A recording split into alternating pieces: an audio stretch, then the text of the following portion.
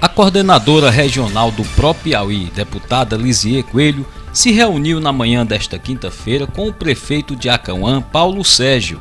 Na oportunidade, a gestora fez um levantamento das obras realizadas pelo governo do estado e discutiu com o prefeito sobre ações do próprio Piauí no município, o maior programa de investimentos do governo, que tem como objetivo o desenvolvimento econômico e social do estado.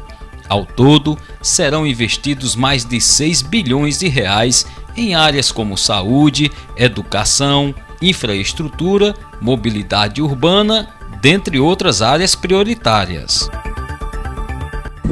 É, venho falar um pouco sobre o asfalto trazido pelo Estado, agradecer ao Wellington Dias por mais uma obra e dizer que ficou legal, ficou bacana.